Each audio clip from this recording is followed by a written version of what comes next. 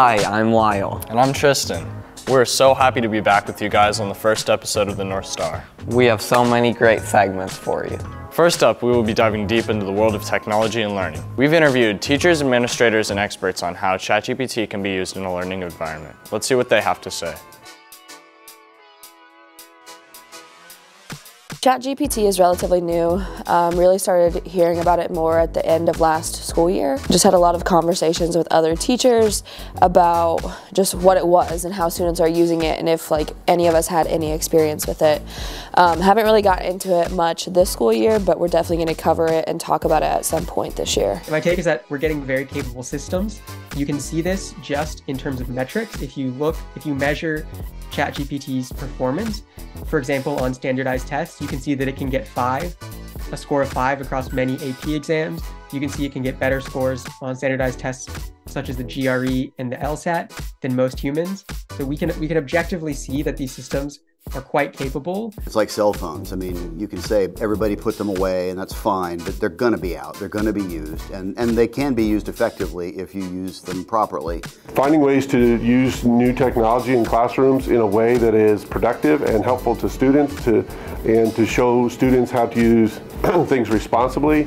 Um, it's, uh, I would equate it to like a cell phone. Uh, there are laws that have been passed on cell phones because people are using cell phones when they drive. So technology can be abused and used in a wrong way, and technology can be really helpful to us and do that. This is the future that we're headed towards, and so both educators and students should be thinking about where the future is headed and how we can design education that's preparing students for the future and th- that's being a part of the future.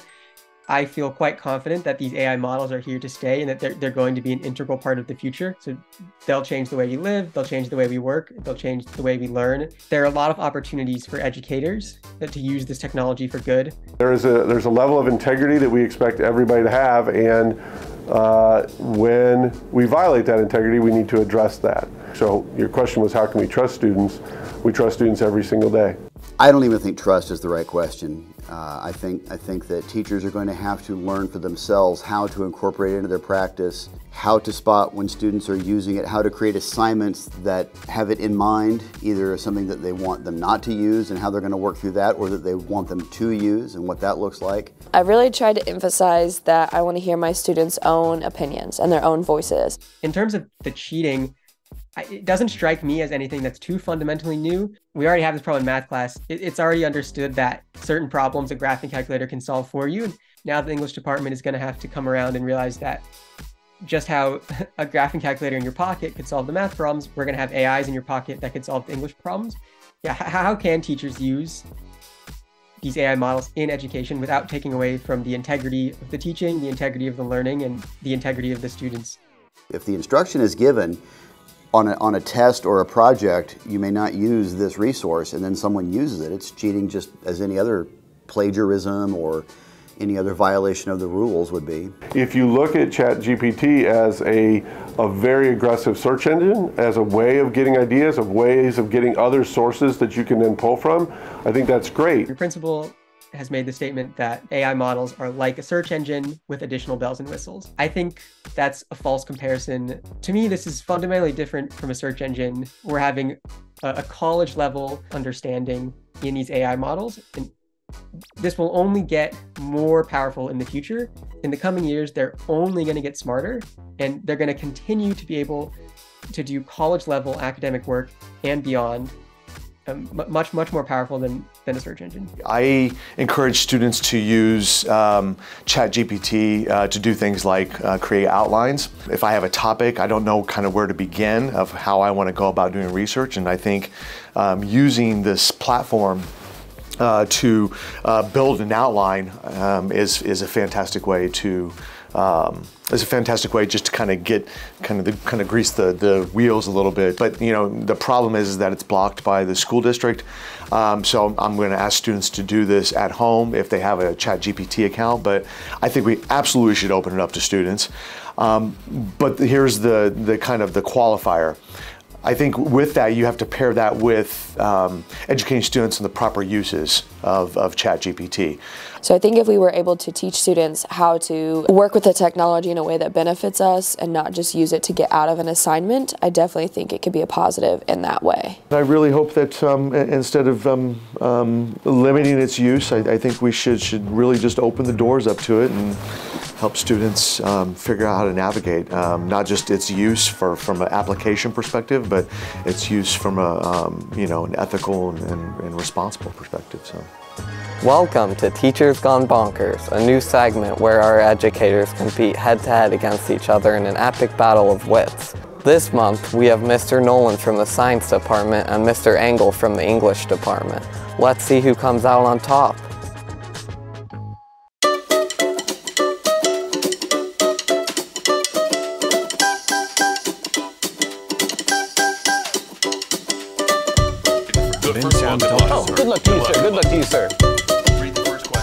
Okay, I'm actually skipping the first question because I don't want to make you like do math. Uh, name the three subatomic particles that make up an atom. Proton, neutron, and electron. Look at that! Bravo! I'm pretty sure I didn't think he's gonna get that one. All right, are you ready? I'm so ready. Oh, actually, no, I don't think I would I am. like but you to identify the verb in the following sentence. Okay. When the sky is out, my thighs are out. That's actually tough. Uh, when the sky is out, my thighs are out. Is it? Is it out? Is the verb? No, but I'll give you another shot. Okay. When the Maybe you when should look the- at your own thighs for inspiration. When the sky is out. Uh, when the sky is out, the thighs are out. Is what you said. your thighs. Your thighs are out. well, What's doing action? Is that even a complete sentence? your thighs are out. It is. Okay. It's R. Oh, it's R, but I think I missed that one. R is a verb? R is a verb. God, It's a I hate English so be. much. Ugh. God. You all knew that though, right? Yeah. You guys know that? Oh man, yeah, English is tough. Way is tougher than chemistry. yes. Okay. Okay, got it. Okay, okay, excellent. This famous scientist is credited with inventing the modern version of the periodic table. Dan Henry. Is that your final answer? He's dead now, if that's helpful. Henry's dead. No, no, the person who invented it's dead. Fermi. No. Who you talking So, no, it is uh, Dmitry Mendeleev. You guys knew that, right?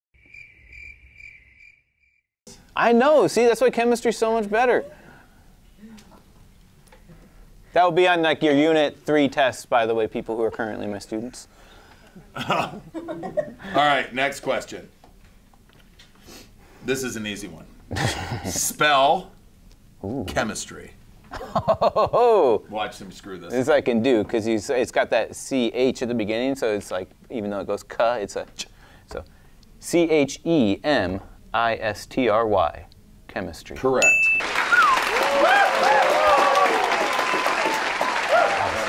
I thought you might too, honestly. I, you know what? I, you didn't know this about me in third grade. I won the class spelling bee. Yeah, uh, you didn't know he's got a, such a heavy hitter here. yeah, I didn't get that information. yeah. No, sorry, sorry. This is an easy one. Any ninth grader should get this, so you should get this. What is the name of the molecule that codes for proteins? The name of the molecule Uh huh. that codes For proteins. for proteins. It has the codes that we use to that make proteins. Here's a hint too. It's a rather big molecule. The as, sun. as molecules go. The sun. No. Go, go again. Codes for proteins. It has to do with living things. living things.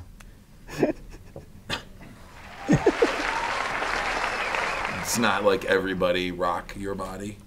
No, but to rock your body, you do need this. You need Bodies will not rock Milk. without this. It's not milk. Guys, what is it? DNA. Yeah, I would have accepted RNA as well. you would have accepted RNA. All right, I have one. Identify the silent letters in the following words and explain why they might be necessary. Oh God. Gnome. Gnome. Right. Uh-huh. So Why is the G necessary in gnome? Oh, I don't know. It's because English is How about ab- this one? absurd. knock. Oh, yeah, the, the K at the beginning. Right. Yeah. Uh huh. Right? Does that make sense? Sure. Yeah. Okay. Yeah. Eric with an H. So,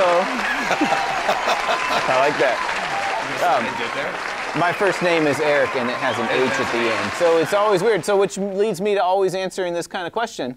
My mom was trying to be kind of individual, a little bit individualistic, right? So German roots. It's the German spelling of Eric is is why.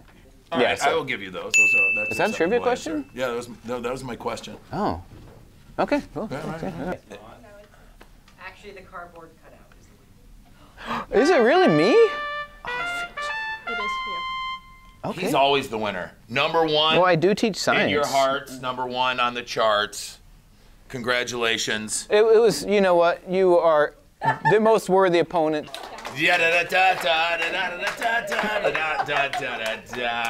Let's check out Pet of the Month to see whose pet is the cutest this month.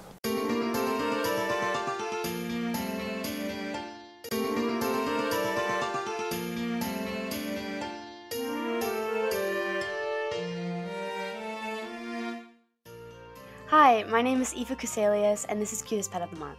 Every month, you submit your pets, and we decide whoever's cutest for that month.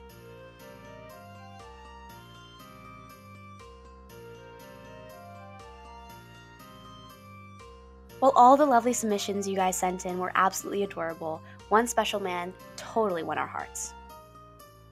Walter the Golden Retriever loves being called a good boy and suffers from seasonal allergies.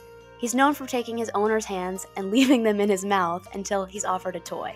While all the contestants have won a special place in our hearts, two runners up were absolutely amazing. This month's runners up are Maple and Pierre. Thanks for tuning in for Cutest Pet of the Month, and remember to submit your pets for a chance to be on the North Star next month. See ya!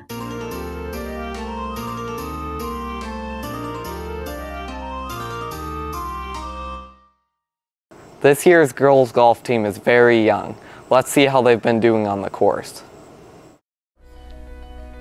I am the Social Studies Department Chair as well as the Director of Service Learning, so I oversee the Senior Internship Program, Community Service Schools, Community Service Nonprofit, and Cadet Teaching, as well as coach girls golf. So what made you decide to join golf? Um, well, both of my parents played golf in high school, and so they definitely had a big influence on me in deciding to join the team. And so I kind of just would practice with them and then played. What makes the girls North golf team different from the other sports teams?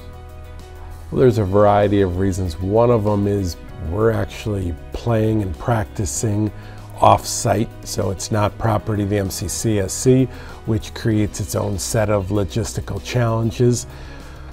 We also have a pretty small team. There's no middle school golf in the MCCSC, so most of the golfers that are part of Bloomington North golf team, when they come in as freshmen, more than likely they're beginners. I think in the 25 years I've been coaching, probably 80% of all the boys and girls I've ever coached were beginners. So other sports, you know, you're getting experience with that given sport at a much younger age. With golf, it's a lot different. So those would be the two big differences from other sports. So overall, how's your first season on the golf team going? My first season on the golf team has been really fun. I played last year, so this is like kind of a second season, not really, but it's been a lot of fun. And having like Darian, our senior on the team, to help us with that makes it even better. So.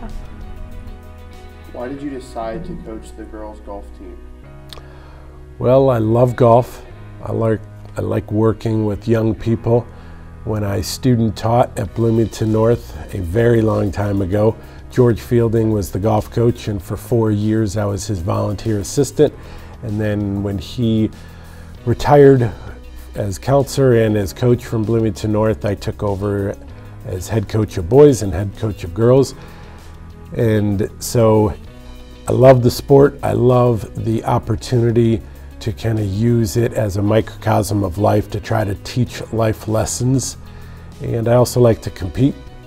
So add those things up and it's a fun coach to sport, a fun sport to coach. What do you plan on doing in college? Do you plan on like playing golf?